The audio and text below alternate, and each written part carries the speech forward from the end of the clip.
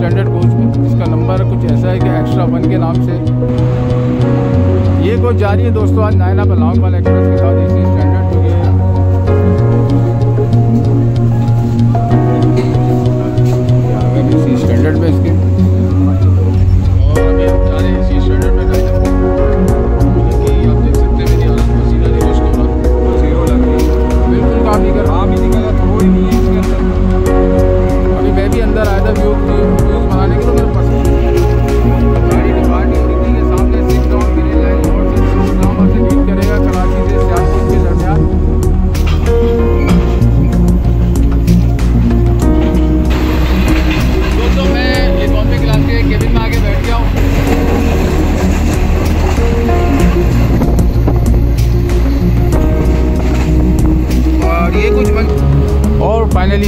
डिग्रोड junction पे उतर गया हूँ कि अल्लाह पाक इसको अपनी मंजिल पे साथ खैरियत से पहुँचाए। वालेकुम। दोस्तों मैं हूँ सुहेब और आप देख रहे हैं आमा मनाइल ट्रेन व्लॉग। मैं इस वक्त मौजूद हूँ कराची कैंट रेलवे स्टेशन पे और मैं आपको ये भी बता दूँ कि यहाँ आने का मेरा मकसद क्या है। आज डेट है 22 मई सन 2024 और यहाँ आने का मेरा मकसद है सियालकोट, लाहौर, बाबलपुर रहीम यार खान वालों के लिए खुशखबरी है। और वो खुशखबरी ये है कि nine up Allama Iqbal Express में एसी स्टैंडर्ड की मंजूरी पास हो गई। और अब nine up Allama Iqbal Express में एसी स्टैंडर्ड एक जाया करेगा वाहिद कोच लगाइए, एक ही एसी स्टैंडर्ड है, लेकिन चलें। बहुत अच्छी न्यूज़ है, स्पेशली सियालकोट वालों को मैं बड़ी मुबारकबाद पेश करता हूँ। क्योंकि सियालकोट पे कराची से जाने वाली वाहिद एक यही ट्रेन है नाइना इकबाल एक्सप्रेस, जिसमें मुसाफिर एसी के उससे महरूम रह जाते हैं। तो उनके लिए बड़ी अच्छी न्यूज़ है कि नाइना इकबाल एक्सप्रेस में जो कराची से सियालकोट के दरमियान चलती है, कराची से डिपार्टिंग डिपार्टिंग का टाइम है उसका साढ़े तीन बजे का तो उसी के सिलसिले में आया हूँ। तो अभी ट्रेनें लेट हैं काफ़ी। तो जैसे नाइना अलामा इकबाल अगर प्लेस होती है तो इन ताला आपको उसका पूरा व्यू भी करवाऊँगा, पूरा विज़िट भी कराऊँगा, उसकी कूलिंग वगैरह। और थोड़ी सी उसमें जर्नी भी करेंगे। तो अभी वेट करते हैं नाइना अलामा इकबाल एक्सप्रेस का। जैसी वो आती है तो फिर आपके साथ में। मैं इस वक्त मौजूद हूँ प्लेटफॉर्म नंबर पाँच पे पुल के ऊपर। और ये आप मेरे नीचे गाड़ी देख रहे हैं। इस वक्त टाइम हो रहा है अभी तीन बजे का। और ये जो ट्रेन है, ये है 34 डाउन पार्क बिज़नेस एक्सप्रेस जो कि लाहौर से अभी कुछ 15 मिनट पहले अराइव हुई है। और उस हिसाब से ये आज तकरीबन तकरीबन कुछ चार घंटे 50 मिनट लेट कराची पहुँची है। अब देखते हैं कि कराची से इसको अगर इसी गाड़ी को निकाला जाएगा तो ये तीन घंटे वॉशिंग लाइन में लगेंगे इसके, यहाँ से भी इसको इंजन अटैच होगा वो उसको। वॉशिंग लाइन में ले जाएगा। और अगर स्पेयर रैक निकालते हैं, कोई दूसरी अगर स्पेयर में रैक होगा तो अपने टाइम पे रवाना होगी। हम वेट कर रहे हैं नाइना अलामा इकबाल एक्सप्रेस का, जिसका ऐलान हो गया है। कुछ ही देर में प्लेटफॉर्म नंबर दो पे प्लेस हो जाएगी। और आइए आपको दिखाऊँ, ये नाइना अलामा इकबाल एक्सप्रेस का इंजन भी बाहर निकल आया है। जेड सी यू तिरसठ तेईस, ये आप मेरे सामने देख रहे हैं। और उसके बराबर में खड़ा हुआ है जेड सी यू तिरसठ सत्रह, जो कि thirty four down Pak business को लेके आया है, चार घंटे पचास मिनट लेट तो ट्रेनों का लेट होने का सिलसिला दोबारा से ऐसा लग रहा मुझे शुरू है कल भी काफ़ी ट्रेनें लेट थी। और आज भी, और 41 अप कराकरम एक्सप्रेस भी अभी तक प्लेटफॉर्म पे प्लेस नहीं हुई है। तो चलिए, जब तक नाइन अप आ रही है, जब तक हम आपको और ट्रेनों का भी दिखाते हैं, कौन कितनी लेट है, कितना डिपार्ट है। असल मकसद तो एसी स्टैंडर्ड कवर करना है नाइन अप का लामा इकबाल का। बस वो भी लगने वाली है तो फिर इन ताला आपको बताएँ।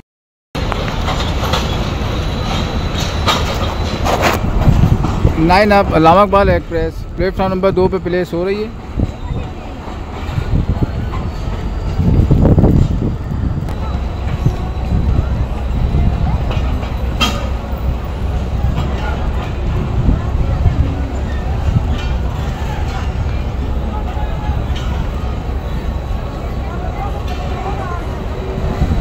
और फाइनली नाइना पलांग वाला एक्सप्रेस, प्लेटफॉर्म दो पे प्लेस है। अब मैं जा रहा हूँ एसी स्टैंडर्ड की तरफ़, जो कि सबसे लास्ट में लगाया गया है। मतलब उससे पीछे बस पावर वैन की कोच है और उसके बाद एसी स्टैंडर्ड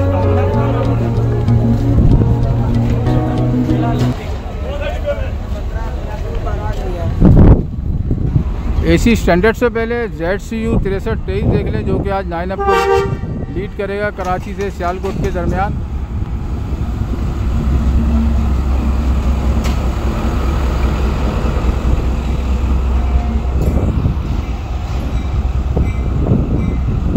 और हम आ गए एसी स्टैंडर्ड कोच में जिसका नंबर कुछ ऐसा है कि एक्स्ट्रा वन के नाम से आपको टिकट कराना पड़ेगा। इसका नंबर नहीं रखा। एक्स्ट्रा वन है। चलिए आइए थोड़ा सा अंदर का विज़िट करते हैं इसका।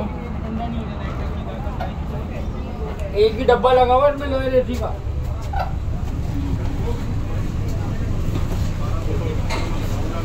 ये आ गया मैं इसी स्टैंडर्ड में इसके। सीटिंग के हवाले से बात करूँ तो तकरीबन फुल ही कुछ केबिन खाली है जिसमें अभी मुसाफिर आ रहे हैं। अभी अभी प्लेस हुई है कैंडी स्टेशन पे। और कूलिंग की बात करूँ, दोस्तों तो कूलिंग तो कोई ख़ास नहीं लग रही मुझे। एक जैसे महसूस होता है इसी में घुसते साथ ही, जैसे ठंडी हवा आती है। इस तरह का तो ऐसा कुछ भी नहीं महसूस हो रहा। एक नॉर्मल ऐसा लग रहा, खाली फ़ैन चल रहे हैं। लेट्स हो सकता है कोई कूलिंग बढ़ाएँ या फिर आगे जाके गर्मी भी बहुत ज़्यादा है। लेकिन अभी तक मैं आया हूँ, कोई ऐसी महसूस नहीं हो रहा कि है पुरानी सी एफ़ आई कोच है, पाकिस्तानी।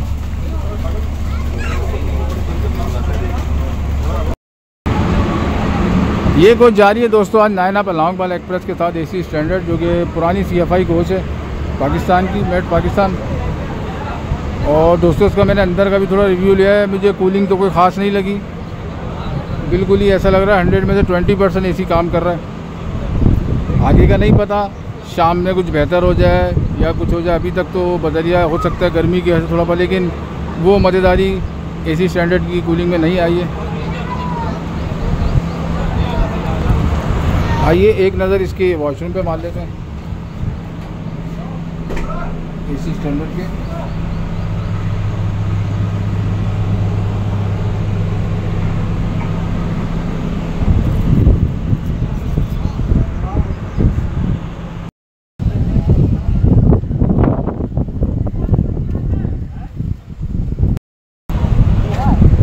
ये तो हो गया दोस्तों एसी स्टैंडर्ड का रिव्यू अब थोड़ी सी मैं बात कर लेता हूँ आपसे इसके किराए पे कि एसी स्टैंडर्ड का किराया क्या रखा गया। तो दोस्तों अगर एसी स्टैंडर्ड के किराए की मैं बात करूँ तो कराची से जो लाहौर तक की इसकी बर्थ एसी स्टैंडर्ड की वो रखी गई है पाँच हज़ार आठ सौ रुपये की। और जो भाई सियालकोट जाना चाह रहे हैं तो सियालकोट की बर्थ है इसकी सात हज़ार दो सौ रुपये की। ये है इसका वाहिद एसी स्टैंडर्ड का फेयर जो कि मैंने आपको बताया और आप स्क्रीन पर भी देख रहे हैं। और इंजन ही फाइनली लग चुका है, इसमें जेड सी यू तिरसठ तेईस। और ठीक साढ़े तीन बजे कराची कैंट से डिपार्ट होगी, जो इसका राइट टाइम है। बाईस घंटे लाहौर तक के लेती है। फिर वहाँ पे पौना घंटा लाहौर में स्टॉप करके फिर वहाँ से तीन से चार घंटे सियालकोट के लगते दोस्तों, यहाँ के कुछ मुसाफरों से बात हुई है, वो भी कह रहे हैं एसी स्टैंडर्ड जो है, बिल्कुल वर्किंग नहीं कर रहा, बिलोर भी उसका काम नहीं कर रहा। और इकॉनमी क्लास जैसी फीलिंग आ रही है उनको अंदर बैठ के। बेचारे जिन्होंने कराची से सियालकोट के लिए जा रहे हैं सात हज़ार आठ सौ रुपये की बर्थ खरीदी हुई उन्होंने। तो उनको बड़ी मायूस से हैं कि एसी तो लगा दिया लेकिन किसी काम का नहीं वो कह रहे हैं इससे अच्छा हम इकॉनमी क्लास में ही सही थे। ये भाईजान कह रहे हैं। सर आप सलामकुम वालेकुम। सलाम। सर सियालकोट जा रहे हैं आप? जी सर। तो क्या हुआ सर? एसी स्टैंडर्ड की वर्किंग कैसी लग रही है आपको? बिल्कुल ज़ीरो लग रही है। बिल्कुल काम नहीं कर रहा। काम ही नहीं कर रहा थ्रो ही नहीं है इसके अंदर। अभी मैं भी अंदर आया था व्यू व्यूज़ बनाने के तो मेरे पसीने आए मैं बाकायदा बाहर आ गया। सर ये हाल है तो आगे क्या होगा? जी जी बस यही मैं बोल रहा हूँ कि अभी आगे का सवाल चलें दुआ करते हो सकता है आगे जाके कोई काम करें। अकल आ जाए पैसे तो ले लिए उस ने सात हज़ार था सात सौ छः सौ पचास रुपये। मगर काम नहीं कर रहे इसी अंदर बाहर आके खड़े हो गए। अगर इससे तो अच्छा तो आदमी लोकल करवा लेता वो इकॉनमी क्लास में वो अच्छी थी। जी बिल्कुल बिल्कुल। नहीं नहीं इंशाल्लाह ताला होपफुली हो सकता है कि अभी ना भी करो तो आप इनकी कंप्लेन कर सकते हैं तो ये आगे इनकी टीम आएगी ऊपर पानी वगैरह डाले शायद उससे कुछ बेहतर होगा अल्लाह मालिक है अगर इधर नहीं तो हैदराबाद तक जाके देखते हैं चलें। इंशाल्लाह इंशाल्लाह। तो ये दोस्तों ये इसी स्टैंडर्ड लगे हुए इसका ये रिव्यू है। पाँच हज़ार आठ सौ या सात हज़ार आठ सौ या सात हज़ार छः सौ एक बहुत बड़ा अमाउंट होता है गरीब आदमी के लिए एक मिडिल क्लास बंदे के लिए। और वो पैसा खर्च कर उनको सर्विस भी ना मिले तो ये तो दोस्तों खैर कहीं की इंसाफ नहीं हुआ ना। तो वो बोलता है मैं तीन हज़ार एक सौ पचास का टिकट लेके इकॉनमी क्लास में बैठिए तो इससे अच्छा।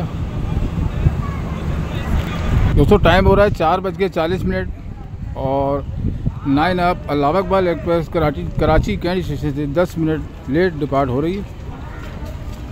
हम बिल्कुल लास्ट में करें, इसलिए हॉर्न की आवाज़ नहीं आ रही। लीड पर है इसकी जेड सी यू तिरसठ तेईस, लेकिन दो डिपार्टिंग विसल हो चुके हैं और गाड़ी ने भी स्टेशन प्लेटफॉर्म छोड़ना शुरू कर दिया तो चलिए आइए, इसमें थोड़ी सी जल्दी करते हैं। इसी स्टैंडर्ड को मजीद देखते हैं, गाड़ी चलने के बाद क्या रिस्पॉन्स है गाड़ी डिपार्ट ही हो रही थी कि सामने six down green line Lahore से इस्लामाबाद से कराची लाइन चलने वाली जिसकी लीड पर है जी E U nine zero five zero. Green line भी प्लेटफॉर्म नंबर दो पे अराइव हो रही है। और टाइम हो रहा है इस वक्त तीन बज के चालीस मिनट।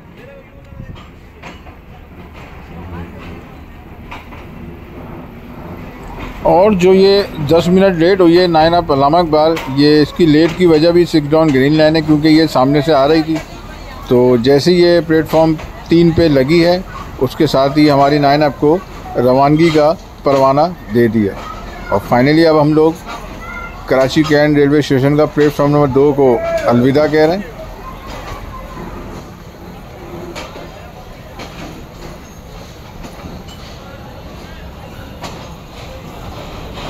छोटी सी जनवरी का स्टार्ट हो चुका है। अभी ये हम थोड़ा सा ये प्लेटफार्म को कवर करते हैं। ये प्लेटफार्म ज़रा गुजर जाए, उसके बाद हम चलते हैं दोबारा से अपने एसी स्टैंडर्ड की कोच में और ये देखते हैं कि चलती ट्रेन में क्या रिस्पॉन्स है कूलिंग का इसकी क्योंकि खड़ी गाड़ी में तो मुझे कूलिंग आपको मैं बताया हंड्रेड में से ट्वेंटी परसेंट मुझे वर्क करती नज़र आ आई कूलिंग बिल्कुल नहीं थी। मामूली सी बेहतर कूलिंग थी, लेकिन उसको कूलिंग नहीं कहेंगे। अभी चलती ट्रेन का थोड़ा सा जायज़ा लेते हैं।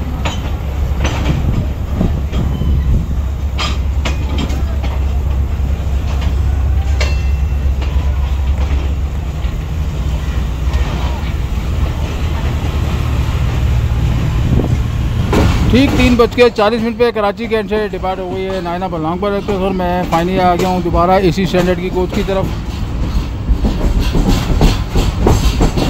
और अभी चल के देखते हैं इसका क्या हाल है। अभी मैं अंदर आया हूँ तो कुछ कदरे बेहतर माहौल हो चुका है, जिस वक्त स्टार्टिंग में था उससे कुछ बेहतर कूलिंग हो चुकी है। और लेकिन ये है कि कामयाब हुई है सियालकोट के लिए एसी स्टैंडर्ड, तकरीबन सारी सीटें फुल हैं इसमें। और कूलिंग की भी अगर मैं बात करूँ तो बेहतर हो गई। कुछ बेहतर हो गई। और अभी हम जा रहे हैं इसी स्टैंडर्ड में नाइन अप के। कूलिंग की आप देख सकते हैं, मेरी हालत पसीना नहीं खुश्क हो रहा। इस तरह की कूलिंग है कि पसीना भी अभी तो खुश्क नहीं हो रहा। लेकिन ये है कि कह रहे हैं कि काम करेंगे इस पर कुछ होगी बेहतरी। तो बात ये है कि अभी लगे हुए इसको दो दिन नहीं हुए और कंप्लेन आना शुरू हो गई। बहरहाल अभी तो कोई सुकून नहीं मिल रहा। मैं घरों में सोच रहा हूँ, इससे बेहतर मैं बाहर ही चल रहा हूँ, दरवाजे पर एसी स्टैंडर्ड से मैं बाहर आ गया हूँ दरवाजे के पास। उससे अच्छा तो ये दरवाजे की हवा लग रही है। लेकिन देखते हैं शायद रात तक बेहतर हो जाए। अभी तो कोई ख़ास डर नहीं है बस नॉर्मल है गुजारा है। गुजारा जिसको कहते हैं वो है। और गर्मी की अगर मैं बात करूँ तो कराची में गर्मी बढ़ भी बहुत रही है। इस वक्त भी पारा कम से कम 41, 42 को जाके टच हो रहा है। तो गर्मी का तो बहुत बुरा हाल है। मैं कैंट स्टेशन पर थोड़ी देर के लिए आया था ये कवर करना। मुश्किल हो गया है। रुमाल हाथ में होना ज़रूरी है। तो गर्मी हो ही बहुत ज़्यादा रही है। इसलिए बंदा एसी की सीट कराते कि उसको आराम मिल जाए और बैड लग हो जाए कि एसी की कूलिंग सही काम ना करे। ये भी एक बैड लक हुई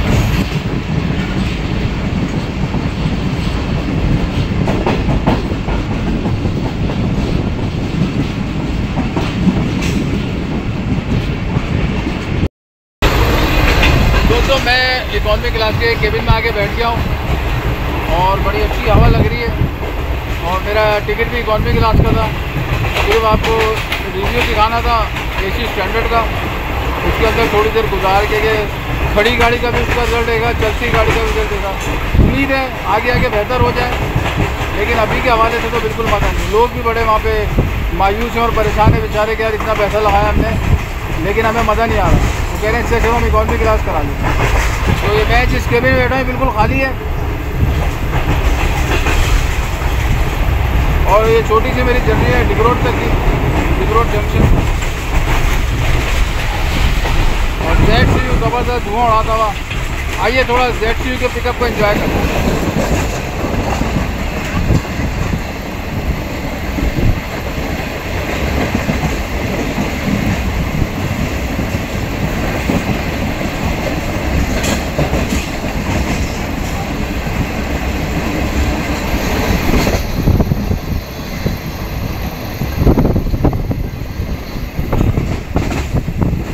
और ये कुछ मंजर है, इशारा है फैसल का।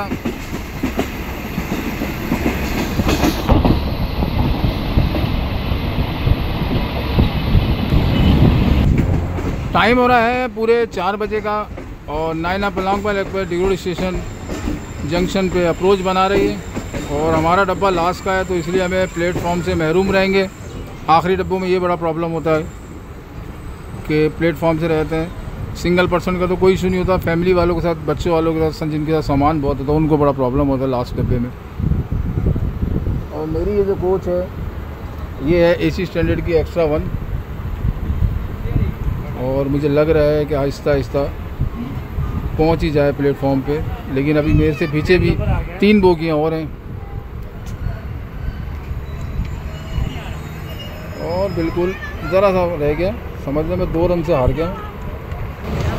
और फाइनली मैं डिग्रोड जंक्शन पे उतर गया हूँ, क्योंकि मुझे ये छोटी सी जर्नी करनी थी आपके साथ। और ये आप देख रहे हैं, नाइन अप डिग्रोड पे खड़ी खूबसूरत कर्व लेती हुई। दो मिनट का इसका स्टॉप है यहाँ पे। मैं भी थोड़ा स्लो स्लो चलना शुरू कर दूँ। ये है वो इसी स्टैंडर्ड की कोच दुआ करता हूँ उसका एसी काम करने लग जाए, गुजारे वाला काम कर रहा है। वो जो गर्मी में एक ठंड पा देने वाला जो मौसम होता है ना प्रोग्राम होता है, वो नहीं चल रहा फ़िलहाल। तो ये दो दिन बाद कवरेज करने का मेरा मकसद ये था पहले दिन तो खैर चलना ही था। लेकिन दू, दूसरे दिन थी आके मेरा ये कवरेज करना के बाद में क्या रिपोर्ट है? एसी स्टैंडर्ड की उसकी परफॉर्मेंस की उसकी सर्विस की। तो ये था आपको दोस्तों दिखाना। अब फाइनली नाइना पर एक्सप्रेस डिग रोड जंक्शन से डिपार्ट हो रही है। एक्स्ट्रा वन है एसी स्टैंडर्ड कोच का नंबर